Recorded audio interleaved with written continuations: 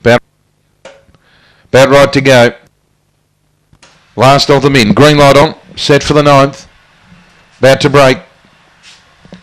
Racing, Warrior Warrior began well enough. He's going hard on the inside rail, but got checked out by Jenna Bale. And Supreme Prince went around to grab the lead now to Jenna Bale, Major Gold, followed by Aston Viva, El Grand Pepe, Warrior Warrior, Cosmic Moments, and Brunelli Spike. Supreme Prince turned in front. Jenna Bale up to second. Aston Viva running on, but Supreme Prince two or three in front, going well. And Supreme Prince beats Jenna Bale, Aston Viva. Warrior Warrior got wound up late for fourth. Then Cosmic Moments, followed by El Grand Pepe, Brunelli Spike, and Major Gold. And the run there is 22.18.